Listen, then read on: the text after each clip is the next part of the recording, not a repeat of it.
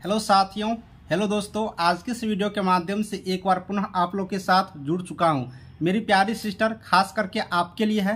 वैसे तो मैं सारे कैंडिडेटों को एक अलग से वीडियो बना करके दूँगा, लेकिन एएनएम के लिए सिर्फ़ अलग से वीडियो बना करके दे रहा हूँ।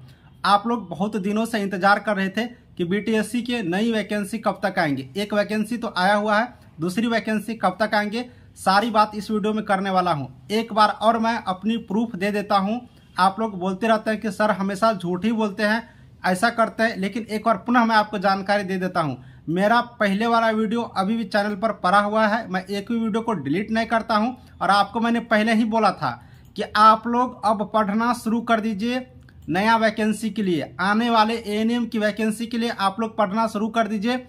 चाहे वो वैकेंसी परमानेंट हो, चाहे वो वैकेंसी संविदा पर हो। बहुत सारे कैंडिडेटों का कहना था कि परमानेंट वैकेंसी जो आती है बीटीएससी के द्वारा, उसमें परीक्षा नहीं होते हैं। लेकिन मैंने आपको बताया था कि जो हो गया, वो हो गया। अब जो नया वैकेंसी आएँगे, उसमें परीक्षा होगा। तो आप लोग उस टाइम यकीन नहीं किए थे। आज मैं आपको प्रूफ दिखा देता हूँ और एक नया नियमावली बनाने को लेकर के सरकार तैयार हो चुके हैं और उस नया नियमावली में क्या होने वाला है, कितने अंकों की परीक्षा होगा, कितने टाइम होगा परीक्षा के लिए एक्सपीरियंस वाले को कितने वेटेज दिए जाएँगे, पूरी सिस्टम आ चुकी है, पूरी नियमावली बन करके आ रही है। तो आपको मैं इस इस वीडियो में यही बताने वाला हूँ और आपको अभी से नया वैकेंसी के लिए तैयारी करना शुरू कर देना है, बिल्कुल रूप से नए वैकेंसी के लिए। तो चलिए, सबसे पहले मैं आपको स्क्रीन पर लेकर चलता हूँ और दिखा देता हूँ कि बिहार स्वास्थ्य विभाग के लिए नया नियमावली जो बन रहे हैं, परीक्षा बेसिस पर होने वाला, वो क्या क्या सिस्टम है? और आप लोग को तैयारी भी कैसे करना है, वो भी चीज़ दिखा दूँगा। साथ ही बीटीएससी के लिए नए वैकेंसी कब तक आएँगे? नया वैकेंसी की बात कर रहा हूँ। आने वाली वैकेंसी कब तक आएँगे? पूरी डिटेल्स जानकारी लेंगे। तो सबसे पहले हम लोग स्क्रीन पर चलते हैं और देख लेते हैं नियमावली को और समझ लेते हैं।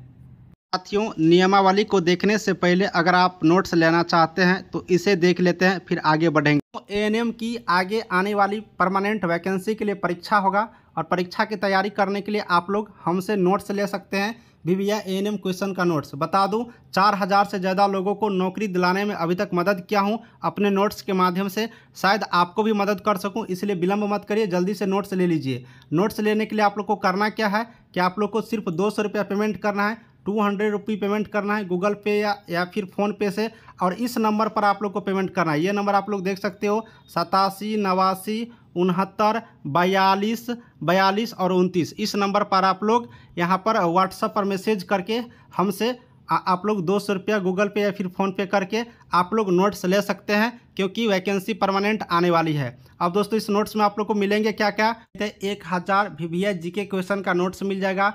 इसके साथ ही एन एम ऑल सब्जेक्ट का क्वेश्चन रहेगा, जिसका 2000 क्वेश्चन रहेंगे। प्रीवियस ईयर का भी क्वेश्चन इसमें इंक्लूडिंग है। ऑब्जेक्टिव टाइप टोटल क्वेश्चन है। हिंदी मीडियम में क्वेश्चन रहने वाला है। और साथ ही दोस्तों, आप लोग विलंब मत करिए। फटाफट इस व्हाट्सअप नंबर पर हमें व्हाट्सअप पर मैसेज करिए गूगल पे या फिर फ़ोन पे करके। फटाफट नोट्स लेकर के पढ़ना शुरू करिए, क्योंकि अब परीक्षा लेकर के बीटीएससी के माध्यम से नई वैकेंसी पूरा होने वाला है। चलिए पूरे डिटेल्स में हम लोग विज्ञापन को सॉरी नियमावली को देखते हैं। अब हम लोग स्क्रीन पर आ चुके हैं और देख रहे हैं इस नियमावली को। इस नियमावली में हम लोग सबसे पहले एक एक पॉइंट को देखेंगे, इसलिए घबराना नहीं है। बिहार सरकार स्वास्थ्य विभाग की तरफ़ से अधिसूचना प्रारूप आप लोग देख सकते हैं। साथियों, इसमें अगर आप लोग देखेंगे एक एक करके तो यहाँ से आप लोग सबसे पहले देख सकते हैं, इसमें क्या लिखा हुआ है? कि संक्षिप्त नाम संक्षिप्त नाम एवं विस्तार एवं प्रारंभ। यह नियमावली बिहार स्वास्थ्य तकनीकी, देख लीजिए, तकनीकी और राजपत्रित संयुक्त संवर्ग नियमावली 2023 कही जा सकेगी। यानी आप लोग देख रहे हैं, ऊपर में ही लिखा हुआ है, यह जो नियमावली है 2023 कही जाएगी। पुराना पुराना नियमावली को ख़त्म करके एक नया नियमावली बनाने जा रही है, जो कि 2023 कहे जाएगी। इसका विस्तार संपूर्ण बिहार राज्य में होगा, यानी पूरे बिहार राज्य के लिए यह नियमावली लागू रहेंगे। इसमें दोस्तों लिखा हुआ है की परिभाषा जब तक विषय या संदर्भ में अन्यथा अपेक्षित न हो इस नियमावली में, यानी कि जब तक कोई नया चीज़ नहीं हो जाए, तब तक यही रहेगा। सरकार का मतलब बिहार सरकार, विभाग से मतलब स्वास्थ्य विभाग, नियुक्ति प्राधिकार से अभिप्रेत है। लेवल सेवन तक के लिए निदेशक प्रमुख, स्वास्थ्य सेवाएँ बिहार और लेवल सेवन से ऊपर तक के लिए बिहार सरकार इसमें सहभागिता रहेंगे। आयोग का मतलब होगा बिहार तकनीकी सेवा आयोग। आँख खोल करके आप लोग यहाँ से देख लीजिए। आयोग का मतलब क्या हो जाएगा? बिहार तकनीकी सेवा आयोग, यानी कि वैकेंसी जो आएँगे, वो बिहार तकनीकी सेवा आयोग के माध्यम से क्लियर किए जाएँगे। स्पष्ट रूप से आप लोग देख सकते हैं। यहाँ पर देखेंगे, मान्यता प्राप्त विश्वविद्यालय संस्थान से अभिप्रेत है। संघ अथवा बिहार अथवा अन्य राज्य सरकार द्वारा मान्यता प्राप्त विश्वविद्यालय संस्थान एवं यानी कि साथियों, जो बिहार राज्य के रहेंगे, उसको भी यहाँ पर फॉर्म भरने की अनुमति मिलेगा और अन्य राज्य सरकार द्वारा, दूसरे राज्य सरकार द्वारा यहाँ पर जो मान्यता प्राप्त विश्वविद्यालय या संस्थान रहेंगे, उसको भी यहाँ पर फॉर्म भरने की अनुमति मिलेंगे। तो आपने देख लिया, बिहार तकनीकी सेवा आयोग के लिए बिहार स्वास्थ्य विभाग की वैकेंसी पूरे किए जाएँगे, जो कि राज्य के सभी संस्थान और अदर राज्य के भी संस्थान हैं, उनको भी यहाँ पर मौका मिलेंगे। अब यहाँ पर देखिएगा, जो इम्पोर्टेंट है, उसको देख लीजिए। भर्ती का मतलब क्या है? प्रत्येक संवर्ग में मूल कोटि के पदों पर नियुक्ति आयोग के अनुशंसा के आधार पर सीधी भर्ती से होगी। यानी कि सीधी भर्ती का मतलब डायरेक्ट विज्ञापन निकाले जाएँगे और उस विज्ञापन में अप्लाई करके आप लोग डायरेक्ट नौकरी लेंगे। अब शैक्षणिक योग्यता देखेंगे। शैक्षणिक योग्यता सीधी भर्ती के लिए न्यूनतम आयु 21 वर्ष, यानी कि कम से कम आयु आपको न्यूनतम 21 वर्ष होगा और अधिकतम आयु जो नियमावली में रहते हैं, वही सारा चीज़ रहेगा। तो न्यूनतम आयु पर हम लोग को थोड़ा सा ज़्यादा ध्यान देना है। इक्कीस वर्ष रहने वाला है। अब साथियों, इसमें बात करिएगा संबंधित विज्ञापन में वैकेंसी कब तक आएँगे? तो पहली अगस्त को उम्र के अवधारण के परियोजनार्थ कट ऑफ़ डेट माना जाएगा, यानी कि उम्र के लिए है, ठीक है? अब दोस्तों, भर्ती प्रक्रिया आप लोग देखिएगा। तो भर्ती प्रक्रिया यहाँ पर देख लीजिए। नियमावली सिलेक्शन प्रोसेस चयन प्रक्रिया। नियुक्ति प्राधिकार प्रत्येक वर्ष पहली अप्रैल तक स्थिति के आधार पर रिक्तियों की गणना कर रोस्टर क्लियरेंस करा करके आरक्षण कोटिवार अधियाचना आयोग को 30 अप्रैल तक भेजेगी। यानी आपने देख लिया कि सब प्रत्येक वर्ष में एक अप्रैल तक में क्या क्या स्थिति है, कहाँ पर कितने रिक्तियाँ हैं, कितना सीट खाली है, उस सारे चीज़ को गणना करके रोस्टर क्लियरेंस करके और 30 30 अप्रैल तक विभाग को भेज दिया जाएगा प्रत्येक वर्ष। और 30 अप्रैल तक विभाग को भेज देंगे, स्वास्थ्य विभाग को, और स्वास्थ्य विभाग बीटीएससी को भेज देंगे। उसके बाद आपके सामने वैकेंसी देखने को मिलेंगे।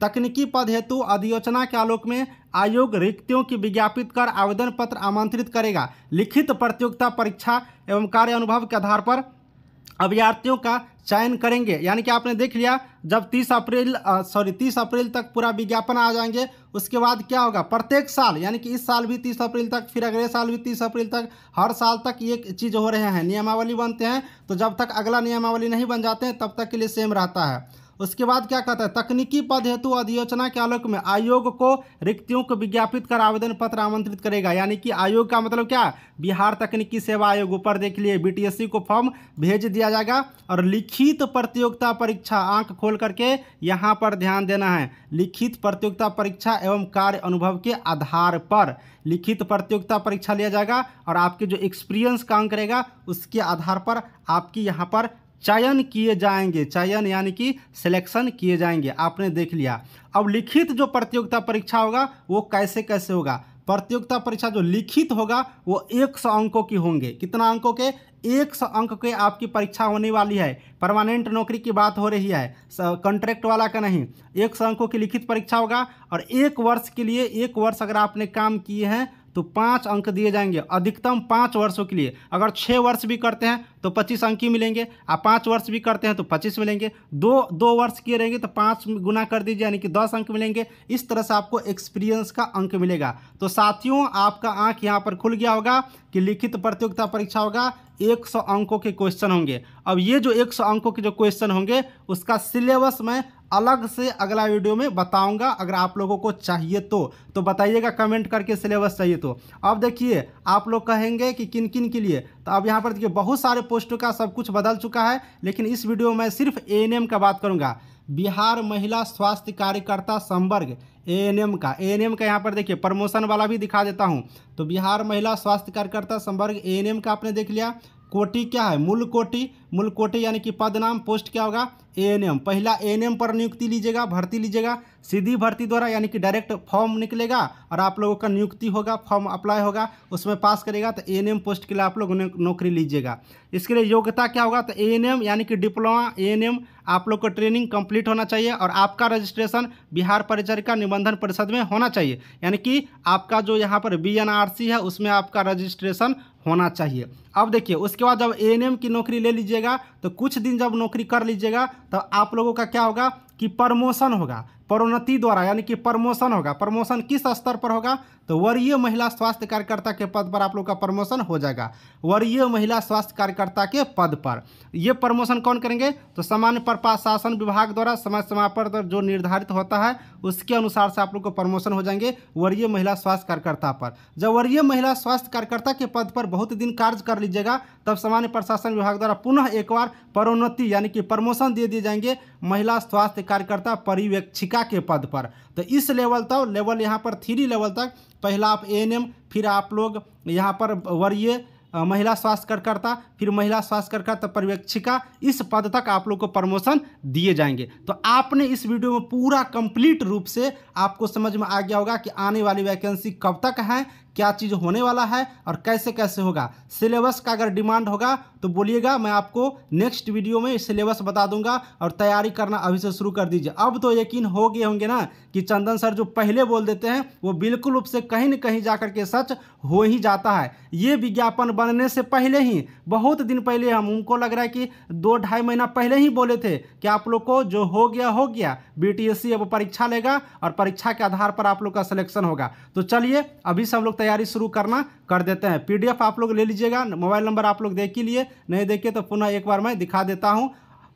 तो मेरा मोबाइल नंबर आप लोग को रहा, सतासी, नवासी, उनहत्तर, बयालीस और ये उनतीस, ये सिर्फ़ पीडीएफ के लिए है। व्हाट्सएप पर आप लोग मैसेज करिएगा, आप लोग को पीडीएफ मिल जाएँगे। चलिए वीडियो को आगे करते हैं। साथियों, आपने स्क्रीन पर देख लिया कि अगर आपको एएनएम की तैयारी करनी है तो बिल्कुल रूप से शुरू कर दीजिए। एएनएम का नोट्स कैसे लेंगे आपने देख लिया। साथ ही आपको मैं बता दे रहा हूँ कि अब आप लोग को पढ़ना है, सिर्फ़ पढ़ना है। ये मत सोचिए कि मेरा हो जाएगा या आएगा तब तैयारी करेंगे। अगर आप लोग तैयारी नहीं करती हो तो फिर आप लोग ही पछताओगे। ये मत सोचिएगा कि ये वो कोई और तरीका से ले लेंगे। नहीं, अगर आप लोग पढ़िएगा तो आपकी नौकरी होना तय है। इसलिए अब हम सारे कैंडिडेटों को अब मन लगा करके, जो मैंने बहुत सारी क्लास दिया हूँ, उस क्लास को भी देखिए। और बहुत सारी क्लास आ रही है, बैक टू बैक सारे क्लास ले रहे हैं। उन सारे क्लास को भी आप लोग को लगातार देखते रहना है। पहले टेक्निकल का मैं क्वेश्चंस करवा रहा हूँ। पिछले बार बहुत सारे क्वेश्चन करवाए थे। आठ हज़ार आठ सौ तिरपन के टाइम में वो भी सारा क्वेश्चंस देखिए, क्योंकि एनएम का सिलेबस अभी थोड़ी ना चेंज हुआ है।